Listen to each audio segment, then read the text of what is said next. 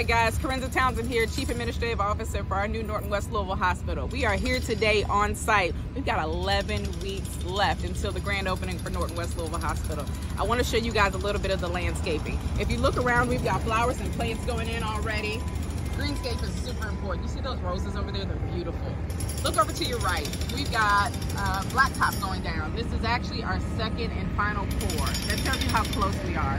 If you look up at the top of the building, we've got a pavilion. That's our outdoor pavilion where uh, we'll be have green space where employees, patients, and staff can go um, and have a great place to hang out. We also have nine foot windows on every single patient room let's talk about a little bit of data there. So data tells us that as long as patients have access to green space, natural light, outdoor space, that they heal a lot better and faster, and it's just beautiful to look at.